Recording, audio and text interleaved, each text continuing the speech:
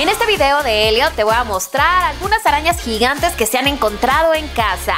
1. En 2014 el youtuber Kiwi halló una araña cangrejo gigante en su cocina. Es tan impactante el tamaño de este insecto que Kiwi saltó del miedo intentando sacarla de su casa. 2.